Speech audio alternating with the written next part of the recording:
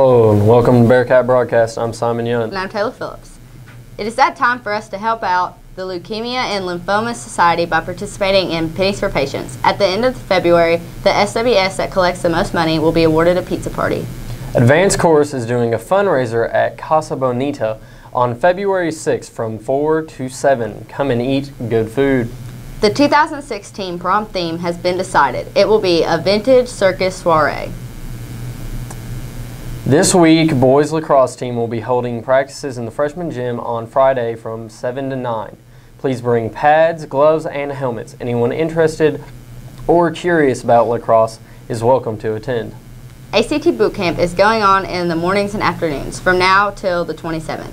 Times and dates are on the posters hanging up in the hallways. All juniors who attend will earn credit towards being off the day before prom. Any senior who has signed up for national ACT test dates on February 6th or April 9th that attends the boot camp will earn time towards being off the day before prom. Now on to Andrea with question of the day. The correct answer to yesterday's question was Ah, hard to see the dark side is.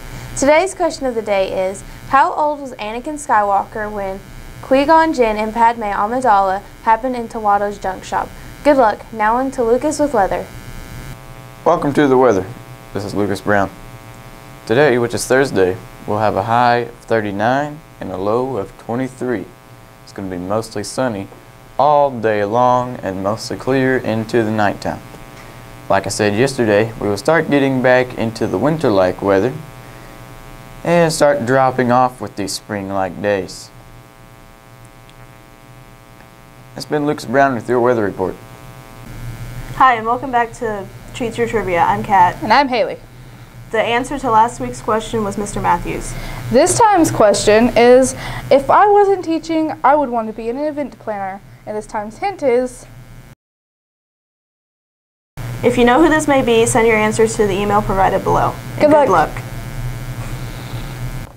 Today for lunch, we're having Teresa's famous meatloaf, pizza, ham sandwich, chef's salad, parfait, chicken wrap, your choice of vegetables, and milk or water. Anyone who needs anything announced, please uh, email us at the email provided below. And as always, follow us on Twitter. Have a good day. Have a good day.